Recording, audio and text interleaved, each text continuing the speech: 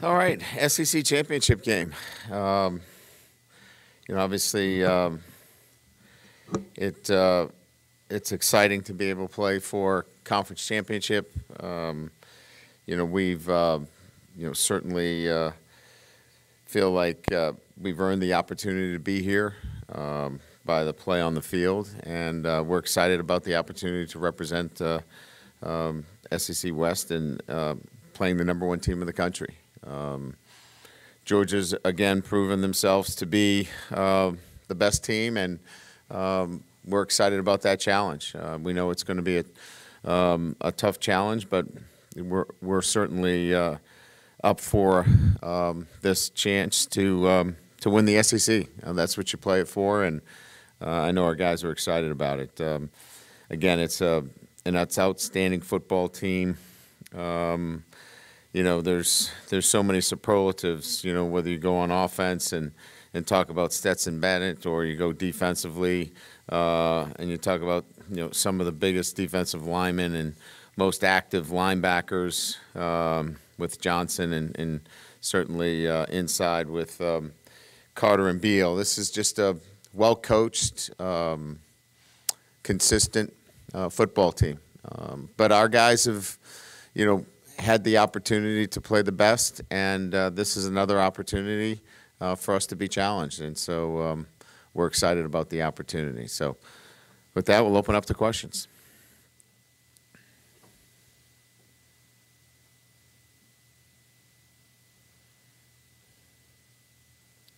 Um, first, just to check on Jarrick Bernard-Converse, what his status is, and also, you know, this was always kind of a makeshift year at corner. I guess how would you evaluate it now? You're 12 games in on how that that group did, a lot of moving around and whatnot.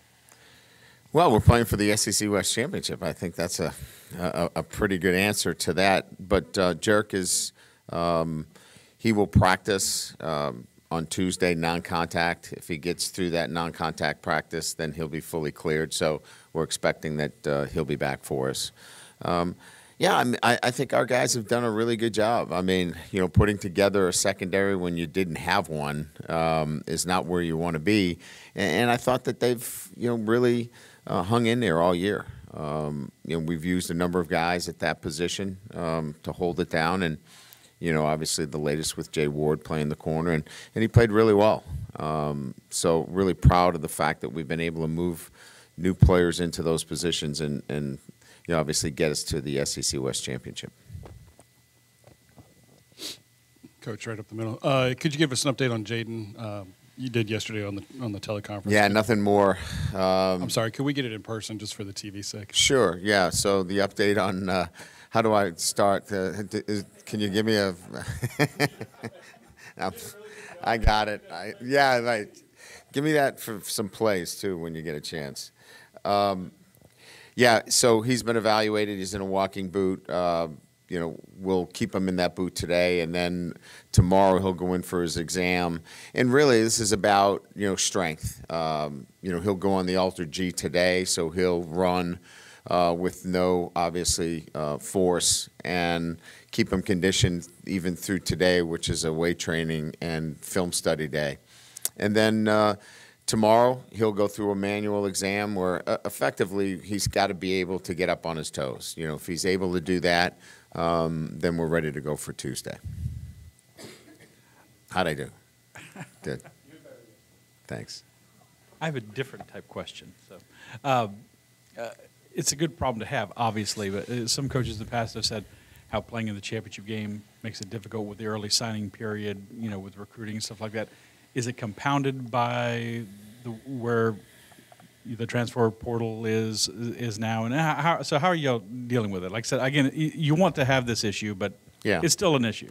No doubt, um, there's no question about it. So, you know, our situation is different because you know most teams that are not playing in a championship game are out on the road recruiting today, and certainly we're preparing for the game. So, you know, we can't be out recruiting at this point. So you lose that opportunity, but recruits know that we're preparing for a championship game, so you, you gain that back on the other end. Um, next week is where it really gets interesting, right? So the transfer portal opens on the 5th. Um, you know, we've we certainly uh, you know want to be able to recruit, uh, but we want to obviously set our own roster as well. So it's balancing setting your own roster, evaluating your team, exit interviews, doing those kinds of things, um, while you're also recruiting and keeping an eye on the portal. So you've got a few balls up in the air next week. And then our guys are in exams. So, you know, it lends itself to where we don't have to be hands on. We can turn them over to our strength and conditioning staff. It's just a matter of balancing um, how much time we spend with the guys in terms of one on ones so we can set our roster, who's coming back, who wants to go to the NFL, you know, who may want to go in the transfer portal. You know, all those things we have to take care of and set our roster here at LSU, as well as look at the portal, and we got to recruit those that are coming in as mid years. So three balls up in the air at, at one time next week. I've been able to ask you this question a a lot this year. Uh, you've apparently played a lot of teams from the SEC. You played Georgia recently twice. Yes. Um, impressions of playing them when you did in 17 and 19, and Yeah. then also, uh, do you take anything at all from those games for this week? Not really. I mean, structure defensively is very similar. I mean, you know, certainly the, the personnel is different, but structure is the same. You, you, you know what you're going to get. Offensively, um, they're a little bit different with Coach Monken. He's, you know, he's got a creative bent to him that's a little bit different than what they had in 17 and 19. Um, but, you know, there's, there's similarities there that, uh, you know, we take as a crossover more than anything else. And again, this is then, this, this then becomes, you know, how do you handle like, you know, Brock Bowers? You know, how do you handle some of the matchup situations that, that you have to deal with? The quarterback is totally different. And, you know, I, I- I think, you know, structure is one thing in terms of knowing what the structure looks like, but then you have to game plan against individuals. And I think that's where this becomes a little bit different. Um, Coach, obviously, you've been around a long time and watched plenty of SEC ball. Said coached against them. long Yeah, long time. Thank you. Many years. Um, when you joined the SEC West then and you thought about what it was to go through a year, how does that compare to now? I guess what was the biggest takeaway from being a head coach in the West? this past weekend, you know, how you have to bring your best each and every week. If you don't bring your best, um, you'll get beat. And, and so I think that that, to me, more than anything else, is the takeaway. Um, you cannot play without the energy and the identity of your football team. Uh, there's just too many talented players. And if you're not ready to play uh, and play at your best, um, you'll get beat. That's the SEC West. Coach, what would it mean to win the SEC championship? You know, regarded as the top conference in America, especially after what you inherited and the situation you were in a year ago. Yeah, I think it would be um, obviously something that uh, we would all feel great about in our first year here at uh, LSU. But I think, you know, overall, it's hard to win SEC championships. It's so hard. I mean, there's so many good teams. We've just talked about how you have to play week to week in the regular season, but to to get there and then win it all, it's. Um, that's why somebody asked me yesterday about um, do you think that if they expand the playoffs that uh, an SEC championship would be devalued? And I said absolutely not. You don't know what you have to go through to actually get here. Um, and, and that's why I think it would never be devalued and it would be such a huge thing for this football program. Uh, down here. You've talked obviously a lot this year about processes, and that's kind of been like the key to the, your program in, in general in this season. When did you feel like maybe the players had finally kind of adopted those things and the things that were clicking in terms of, uh, I guess, off the field processes and all that kind of thing? Well, I mean, I, I think it's like anything else. You know, when you when you put in a, a, a new way of doing things, new standards. Um, it's like anything in life. You go to a new business or a new operation. There's a new way of doing things. Um, you know, that just takes time. I, yeah, I don't know that we're there yet. Um, I think the first year is really, you know, setting those standards, making sure that they understand. I, think we're, you know, we're at that level of, you know, conscious competence. You know, we, we, we know what to do, we know how to do it, but it's really hard for us. And we want to get to, you know, where it's unconscious competence. We don't have to think about it. You know, it's just we do it and we do it the right way every day. And Um, I think it's still a process for us. They, they understand it a lot better, so I think that's where that level is, but we still have another level to go. Hey, coach, uh, right here. You're going up against a, t- a six foot seven, 270 pound tight end this week. How do you combat that? Hope they don't throw it to him. Is that what you mean? Yeah, I mean, look, I mean, sometimes you know we break this game down to, um, you know, one player against one. You're hoping that in some situations that your zone coverage, where you have somebody underneath them over the top, um, because really, I mean, if you look at it, if, it's just a one-on-one situation, he's a pretty, you know, unique athlete, uh, and that he can line up at, and has lined up at wide receiver.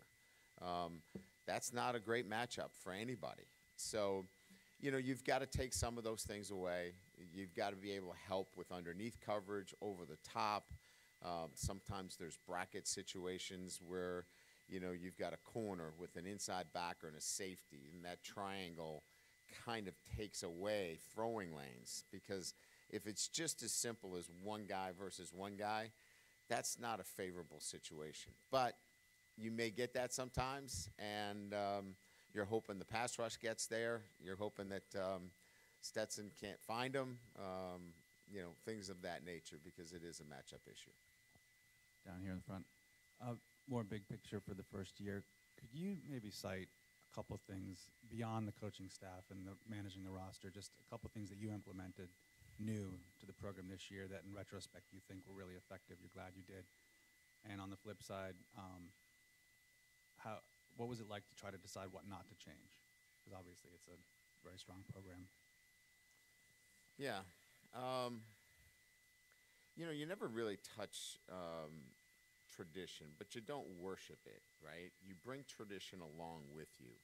Um, and, and that is you, you make sure you're, you're welcoming uh, former letter winners, uh, former players, um, those that have been, you know, part of building the, the pride and tradition of LSU. I think that's absolutely crucial, you know, to have guys back that um, have helped win championships here. And I think we've done a really good job of doing that. So without worshiping it and, and falling in, into that kind of, hey, we have to do it this way because it's always been here.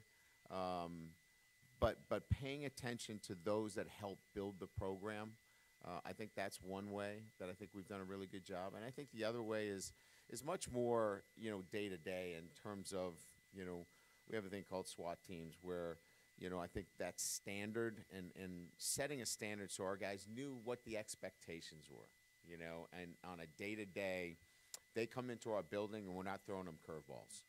They know exactly what they're getting. It's a consistency every single day. And I think that that creates an atmosphere within the building um, that they can trust. And, and so I think that those two things in particular, really welcoming our former letter winners back, those that have been instrumental in building this program, uh, without get caught up with, hey, we did it this way, we got to continue to do it this way. And then internally setting up our, our SWAT teams. Uh, Do you worry again or, or protect against a letdown after losing the game last week and I guess for all intents and purposes losing a, a playoff shot? No, no. Um, the the least uh, concerns I have is is uh, a letdown. We didn't play up to our standards, and so uh, our guys know it, and they care about that. And you could sense it and feel it uh, over the last couple of days, uh, from after the game in the locker room to um, yesterday when they had to be here for meal, um, even today in the training room. Uh, our guys know they let something slip away, and they're they're upset about it, and they know how they have to play. I mean, we we don't have a margin for error. We have to play with grit. We have to play with fire. We have to play uh, to our identity, and if we don't, you know, we're we're not the kind of team we need to be. So I think they're anxious to go back out and, and play up to their standard, um, and and that's the way I, I feel that they will play. Could you go into further detail on Stetson Bennett, what you see in him as a as a winning quarterback, a consistent player? Yeah, I think when you turn on the film, he just exudes confidence. You know, he's a guy that has mastered the position in in what Coach Monken and, and certainly Coach Smart are asking him to do within that offensive structure.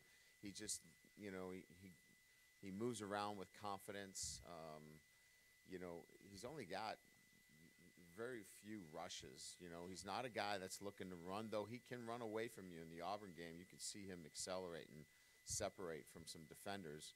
Um, but he wants to get the ball to his playmakers. He's just a smart, uh, careful with the football. Um, yeah, he, he just, I think the confidence level that he brings brings up the level of confidence around him and all the playmakers that he has. Coach John Emery had a rough game against UAB with the fumbles, and then comes out and scores three touchdowns for you this week. Can you just talk about, as his head coach, uh, the ups and downs you've had with him, and the electric stuff he can bring to a game like this, but also the uh, the need to protect the football against a Georgia defense that's probably going to try to rip it out. Yeah, I mean, I think, look, I think it's pretty well um, chronicled that, you know, our depth at the running back position is is not where it needs to be, and and so, you know, you got to be very careful. Um, you got to make sure that John understands that. Look, you can't continue to put the ball on the ground, but yet on the other hand, we can't put him on the shelf uh, because he's he's got to help us. So you know, I, I, thought he handled himself pretty good. I think Coach Wilson's done a great job of dealing with him in terms of the mental aspect of preparation and how to do this with uh, a concern for holding on the football. But we got to get the best out of him because, as you know, he's he's a very talented player with the way he played this past week. So it's been a it's been a balancing act a little bit. Um, we get Josh back this week, which will help. Um, but I think I think more than anything else, I think. Um, you know, Coach Wilson's done a really good job of balancing that, you know, discipline of carrying the football with we need you to play big for us as well. In uh, third year in a row, Georgia's in this game. In, in what way might that be an advantage for them? I don't know that it is per se. I, I think that their team, you know, clearly – you know, has themselves in a mindset that this is where we should be and we expect to be here and we expect to win. And, you know, anytime you, you face an opponent that's confident and believes they're going to win, you've got to beat that. You know, you've got to go ahead and take that from them. It's like, you know, playing the Alabama teams, you know, those that believe they're going to win football games. You know, we were one in nine against uh, Alabama, you know, in the last 10 games. They believed that they were going to beat us, and we had to go take it from them. And we'll have to do the same thing you know, with Georgia. This is a team that believes they should be there and they should win the SEC championship. So we have to overcome that as well. Staying on Georgia, just their defense. Uh, obviously, Kirby's done a great job of, you know, building them into what they are consistently as well. What do you see when you look at them on tape? Well, you know, certainly, you know, physical. You know, the defensive tackles are outstanding. Carter Beal. Um, you know, I think look, I, I think it's pretty clear that what you'll see is the perimeter players not only are athletic, but they're outstanding tacklers, and that doesn't surprise me from you know coming from what Kirby does and and uh, you know obviously what he demands from his players. They're tough-minded. They play physical. They play downhill, um, and and they play a three down, four down, which you know we're, we're obviously seeing a lot of it, but you know you got to make sure you minimize the negative plays against a defense like this. You know, you could get into some bad plays, and now you're behind the chains. They get you the third down. You know, now there's a lot of things they can do. So first and second down, and, and eliminating negative plays against this defense in particular is, is really big. Ryan, uh, you mentioned you know running back depth not where you need to be a lot of things in the team are not where, where you need to be, and yet y'all are in this place. Would you would you have looked at this team from afar, if you if you were looking at this team somewhere else and say, man, that they, they're they're not probably going to be able to get get there, and yet here you are.